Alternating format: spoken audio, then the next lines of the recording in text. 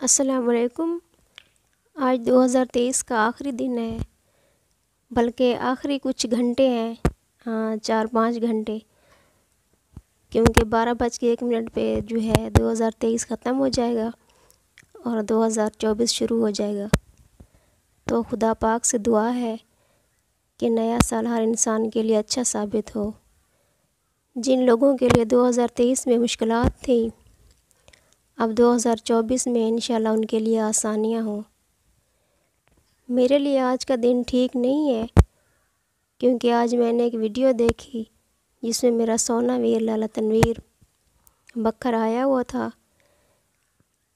मेरे अल्लाह मेरे भाई को सलामत रखें। मुझे बहुत अफसोस हुआ कि मेरे वीर ने वादा किया था, जब भी बखर आऊँगा, अपनी सिस्टर के घर ज़रूर आऊँगा।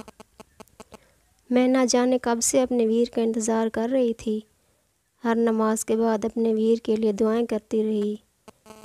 लेकिन मेरा वीर बखर आकर भी अपनी बहन को भूल गया। शायद अब मेरे वीर का मैार बहुत ऊपर चला गया है। इसी वजह से उसने सिस्टर को भुला दिया। या कोई और मजबूरी होगी।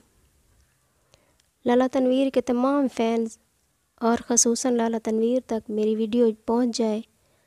तो बहन का सलाम कबूल करना। और अब साथ में शिकवा भी कर रही हूँ कि जब बहनों से भाई वादा करते हैं तो उसको निभाते भी हैं।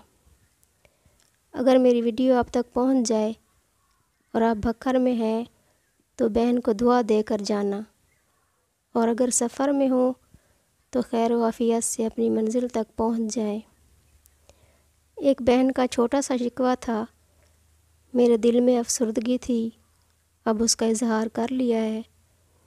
बाकी मेरी दुआ हर वक्त अपने वीर के साथ रहेगी। बखर झंग मोड़ पर आपकी वीडियो आई हुई थी। अल्लाह पाक आपको मज़ीद तरक्की दे। अल्लाह पाक हर इंसान के लिए आसानियाँ पैदा फरमाए। आमीन।